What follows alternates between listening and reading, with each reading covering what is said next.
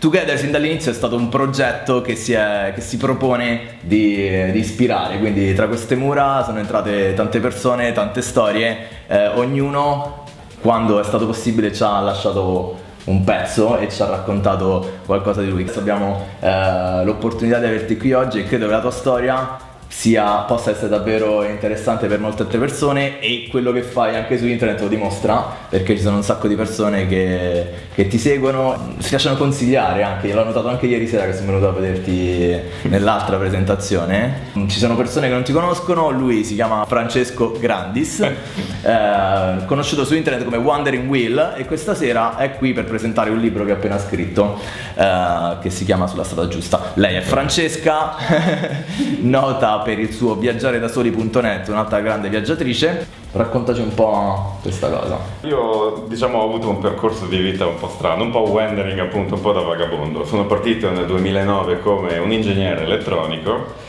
e poi nonostante la mia posizione rispettabile, il contratto a tempo indeterminato, eh, tutto, tutta la situazione apparentemente perfetta, io ero infelice, fondamentalmente era di questo di cui si parlava. Un giorno quando ho raggiunto la crisi è successo questo, questo evento con cui inizio il mio racconto, ho accostato la macchina e mi sono messo a piangere, ho deciso che era finita. E da lì in poi ho iniziato quella che è stata la mia ricerca della felicità. Non funzionava. Io lì ho capito che volevo essere felice e che non mi interessava la strada con cui ci sarei arrivato. Potevo sceglierne altre, avevo il diritto di sceglierne altre di cambiare idea e di scegliere un altro modo per essere felice. Io ho fatto il giro del mondo eh, da solo, zaino in spalla e, e, questo mi ha permesso di crescere, di capire che nella mia vita io volevo essere felice, il come arrivarci non era così tanto importante. Sono tornato a casa con un piano preciso che era quello appunto di trovare un modo di mantenermi, perché dovevo farlo, ma a modo mio, un modo che mi permettesse di essere libero di viaggiare e cercare la mia felicità. Quindi sono diventato un programmatore nomade, un nomad worker e, e, nei quattro anni successivi io ho fatto molti viaggi, non sono stato mai un viaggiatore a tempo pieno, ho fatto molti viaggi. Bisogna cercare nello sconosciuto, nella novità, io lo dico eh, nell'inaspettato.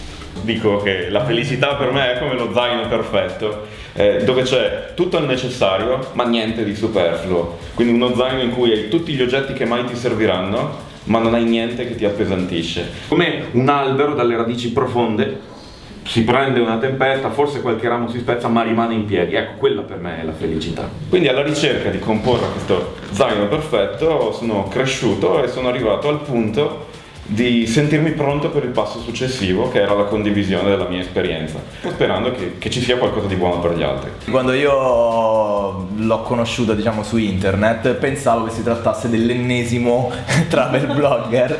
Invece, invece, poi andando ad analizzare il, il blog e quindi leggendo alcune cose ho visto che tu alla fine scrivi di tutto tranne che di viaggi. Tu parli proprio della, della felicità e quindi di questa ricerca della felicità in base a come tu l'hai appunto, sì, esatto. l'hai appunto cercata, l'hai trovata? La sto cercando e sono sulla buona strada, sono sulla strada giusta. Abbiamo 80 anni su questa terra circa, chi più chi meno. Eh, nascere in un modo e morire nello stesso modo mi sembra un incredibile spreco di tempo. Allora, io ho intervistato Francesco all'inizio, appena aperto il suo sito perché sono appunto sempre alla ricerca di viaggiatori solitari e mi aveva colpito questo fatto che lui era uno dei diciamo, primi in Italia che facesse proprio questo nomad working che poi adesso per fortuna stiamo facendo in più persone, però adesso l'hai pure interrotto, nel senso che da quando hai deciso di fare il libro hai detto che hai smesso di fare l'ingegnere, cioè il programmatore. Sì, Diciamo, ho smesso di fare un mestiere nomade, però di fatto quando ho cominciato a scrivere, quello è ancora nomadizzabile se vogliamo, voglio certo. dire, puoi scrivere da dove vuoi nel mondo. Quindi adesso che ho una famiglia, che è entrata nell'ultima parte della mia vita, devo fare le cose con un filino più cautela, ma l'idea di essere nomade rimane e infatti siamo qui con il camper tutti e tre e se non è nomade questo, cioè non lo so. Ripreso il fascino del viaggio, quel, quel, quel, fascino così anche un po' antico dei viaggiatori di una volta che partivi e non sapevi né quando arrivavi e se arrivavi. te lo riprendi un po'. Mi piaceva l'idea di fare questo video con te perché tu fondamentalmente impersoni un po' la storia eh, che tutti vorrebbero vivere fondamentalmente e questo è quello che tutti vorrebbero fare, però nessuno poi alla fine lo fa, sono pochi quelli che lo fanno e quindi qual è secondo te la cosa più difficile da superare che quindi anche gli altri potrebbero dover superare se decidessero di inseguire i propri sogni fondamentalmente? Liberarsi delle voci altrui. Perché quando uno sta male, io dico sempre, io non ho mollato lavoro perché sono stato coraggioso, io ho mollato lavoro perché avevo paura, ma terrore autentico per la vita che provavo. Io mi svegliavo tutte le mattine e la prima cosa che volevo fare era tornare a dormire, non sorridevo, de- si può chiamare depressione, ero infelice. E nel momento in cui dici, vabbè, questa vita mi fa schifo, vorrei andare da qualche parte, ed è, stiamo parlando di una fuga, quindi non di una cosa di coraggio, tutti gli altri dicono ma no, ma, ma, sei sicuro, ti vogliono tenere al loro posto. Liberarsi di queste pressioni è stata la cosa più difficile. In assoluto. Posso farti una domanda, Certo. dato che anche io ho fatto la stessa scelta e ho visto che mi hanno appoggiato persone, diciamo, di cui non mi aspettavo l'appoggio e criticato altre. La tua famiglia, eh, quando tu hai fatto questa decisione, era dalla tua parte o no? Era dalla mia parte nel momento in cui, avendo dimostrato di essere infelice, mi ho detto no, ok, se questo lavoro ti distrugge, mollalo. Però erano più un fatti una vacanzina e poi torna a lavorare, trovatene un altro. Quando gli ho detto no, io mi spendo tutti i soldi che ho per andare a fare il giro del mondo, non erano tanto contenti ovviamente, anche perché i miei appartengono a una generazione passata, Ovvio. per cui figlio ingegnere, voglio dire, è una bella realizzazione. E, però mh, purtroppo anche loro facevano parte delle voci altrui di cui E anche ho è dovuto fare a meno. successo che qualcuno a cui tenevi tanto non ti ha appoggiato? O Sì. solo a me? No, è successo, è successo. La razionalità sa quando staccarsi. Abband- molla e vai a giocare con i pennarelli brutta pirla.